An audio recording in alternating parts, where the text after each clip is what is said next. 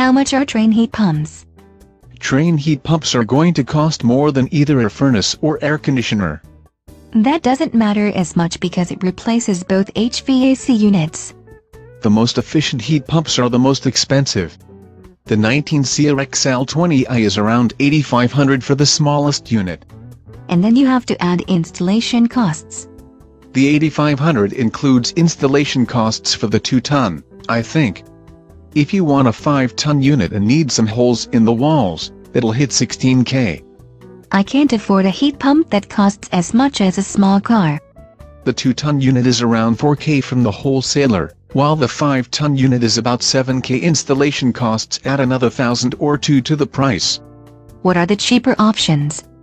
If you got a XR15 with a 16.5 SEER rating, it is around 4500 for a 2-ton unit, including installation. I need more than a 2-ton heat pump. That's hardly more air conditioning than two window ACs. A 4-ton unit is about $3,500 for the HVAC contractor, but installation costs make it about 7k.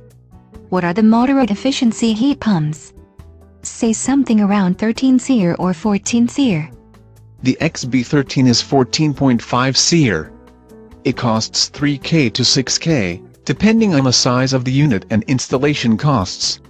That's getting reasonable. You could move up to the XB14 heat pump. It has a SEER rating of 15, and it maxes out at 8k including installation. It is hard to believe it costs that much for installation, approaching the cost of the heat pump. Knocking out walls is easy. It is knowing where to put holes and put the wall back together that costs a small fortune. True. If the holes could just be random, I'd give my five-year-old a hammer and let him play Bob the Builder.